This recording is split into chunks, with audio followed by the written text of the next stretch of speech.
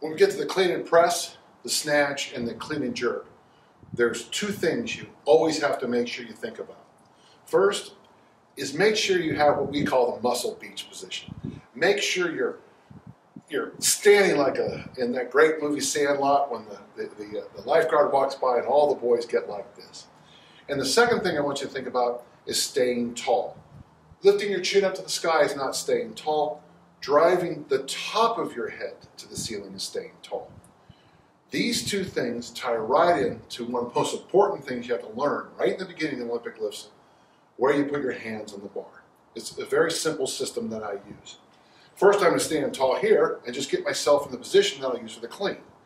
I'm going to basically have my thumbs touching my thighs like that. That's the position I want to clean the bar.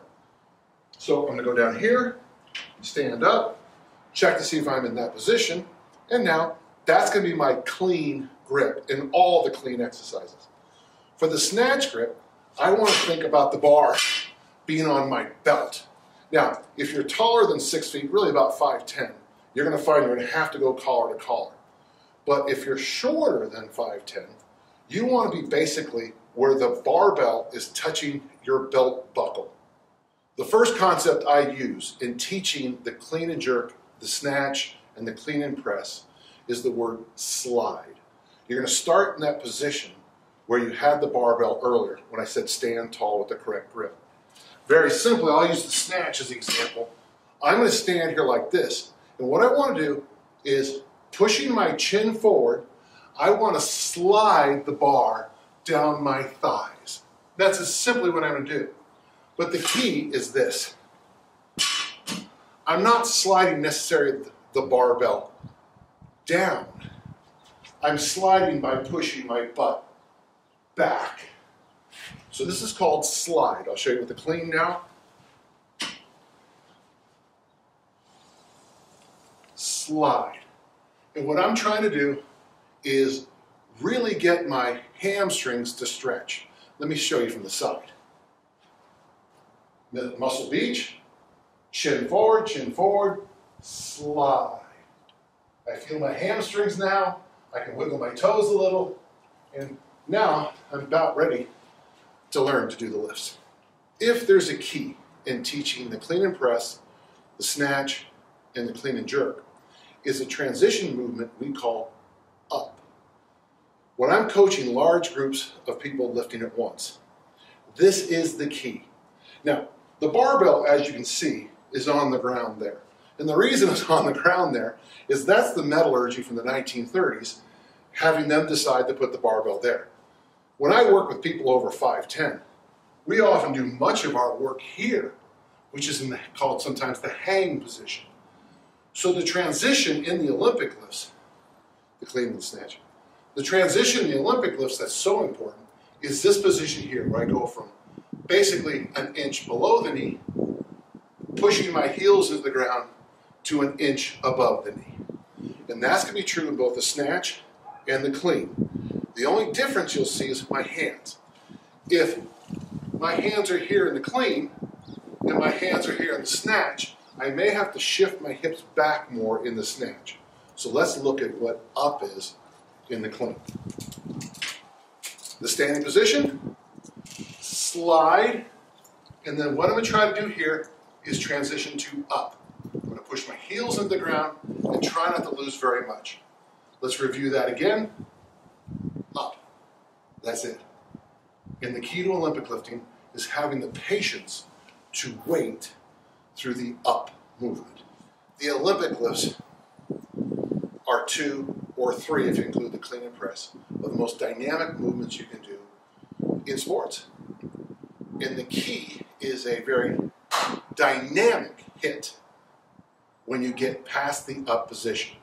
We use the phrase jump. So if we're just doing, when I'm demonstrating or teaching a large group, we start from the stand tall position, we slide, we go up, and then we jump. From there, we go on to the other movements. But let me demonstrate it with the snatch very quickly. Wide grip because it's a snatch. Stand tall. Basically, the barbell's on my belt buckle. And now I'm going to slide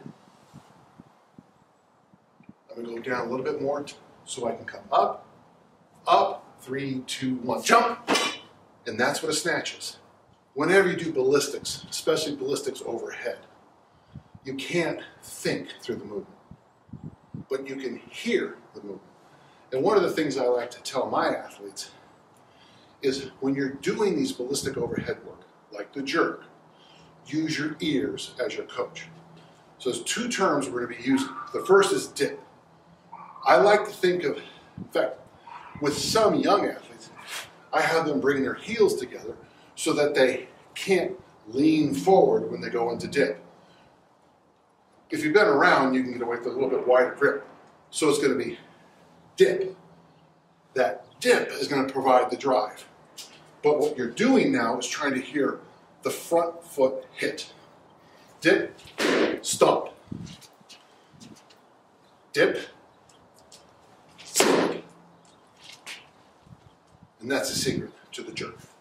For most people, the snatch is actually much easier to teach, even though most of us use the clean more often in training. The snatch is the movement where you take the bar from the floor or the hang overhead in one movement. The clean is where you take the bar from the floor or the hang here to the chest. But there's a problem here the wrists. Many people struggle with front squats and cleans because their wrists hurt. Now, traditionally we deal with this by doing wrist flexibility work, which has its value. Uh, I always tell people you don't just stretch the wrist this way, you also want to make sure you stretch the wrist this way too. And Mike Brown, my friend, always insists on stretching it this way and this way. Wrist flexibility gets you only so far. Correct technique takes over. What you're not doing is bringing the bar, you're not deadlifting and then reverse curling the bar.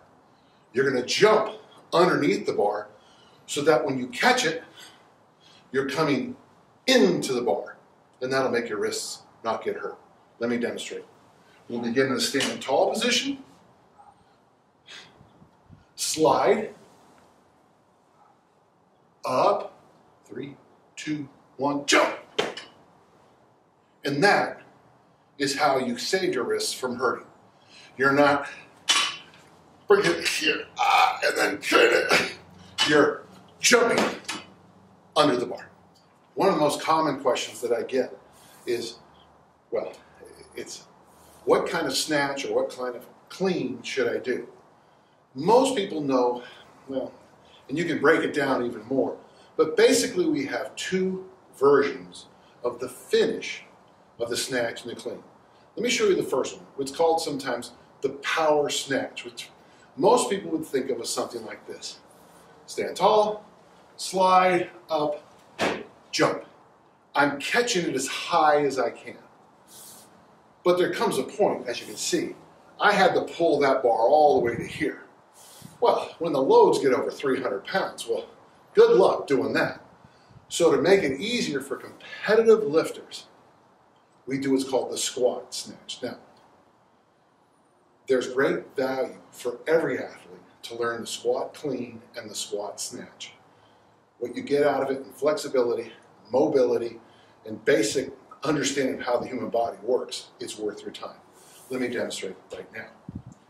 So, slide, up, jump.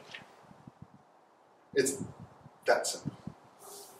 Generally, I teach the Olympic lifts for the past 20, 25 years from the hang position. Now, there's a good reason for that, but there's also a good reason to learn them from the floor. The reason I teach them from the hang so much is one of the things I've noticed in my coaching career. When I first coached, when I talked to my athletes, I spent my time looking like this. Nowadays, I spend my time looking like this. My athletes are getting taller and bigger by the year. The barbell stays right where it is on the floor. So for me, the hang is the way I train most athletes. However, if they want to compete or they just want to lift weights off the floor, I teach them a very simple method. In, a, in another video, we talk about the trap bar deadlift, and the exact same kind of question is going to arise there. So look at both. If the bar is on the floor, the first thing I want to do is grip the bar. But here's the key I don't want to jerk the bar off the floor. I want to drive my heels into the ground. And really, the best way I've ever heard the description of the first pull is it's a leg press. I don't want the angle of my back to change at all. So all I'm doing is driving my heels into the ground until I feel the patella rub. So in the clean, heels, heels, heels, heels, heels, up, jump.